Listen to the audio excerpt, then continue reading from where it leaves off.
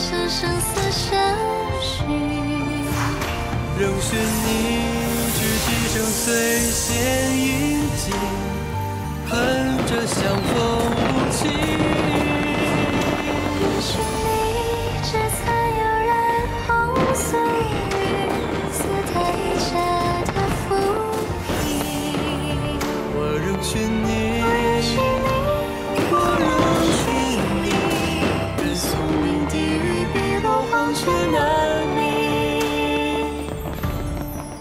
心若开始无这意。李成，我们决定了，婚后我和未知找一个清静处隐居，从此不问世事。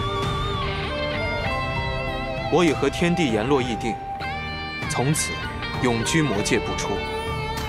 毕竟未知是凤凰血脉，不适合抛头露面，被别人知道了，也不是一件好事。所以如今我们就此隐居，对各位来说，也是一件好事。那我们以后岂不是见不到了？我们又不是躲起来，随时欢迎你们。即日起，奉乌木为大尊，愿大尊率领我魔族子弟安养生息，代代兴旺。乌木谨遵圣女之命。从今以后，我不再是圣女，而是未知。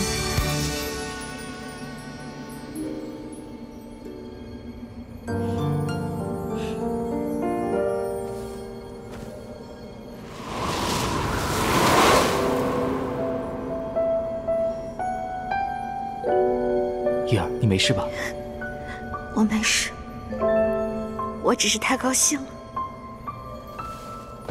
如果他地下有知，知道终于后继有人，也一定很欣慰吧。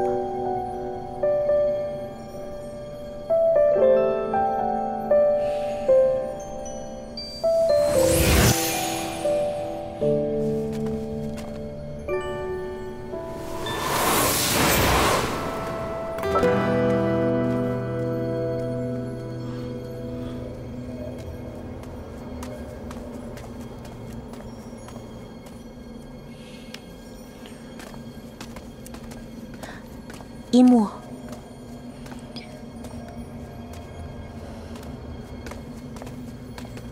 打扰你们的仪式了。母后，是不是出什么事了？颜月，你父帝他醒了。他虽然醒了，但也只是回光返照。弥留之际，希望你回去见他最后一面。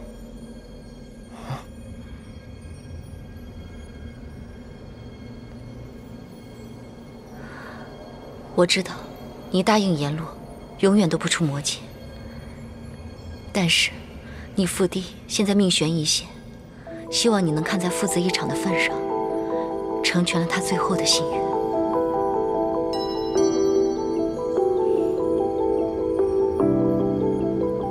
他毕竟是你的父亲，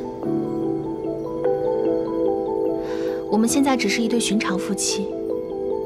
凡间百姓遇上家中老人病重，都去榻前尽孝。你现在回去看你父亲，只是尽一份孝道，并不算为事。我会回来。等你回来。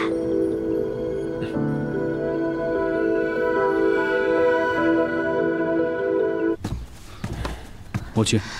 你回来了。府邸轰事了，你要节哀，不要太伤心了。嗯临终前父帝传位于我，这么说，传言是真的。我们不是说好了一起隐居魔界吗？可现在此一时彼一时，有很多事情也不太一样了。你当着大家宣布的事情，如今就要反悔了。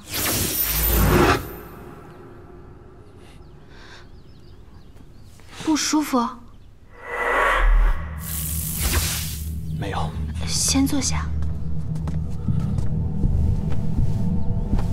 府邸走的有些突然，我心里还很乱。你知道的，这是父帝遗愿，我是不可能违抗的。可是你之前……你听我说，等我继承天帝之位，便会让天魔两界化干戈为玉帛，从此两界联合，永无后患。这可是一件天大的好事。天魔两界连为一体，有你我在，此事便可行。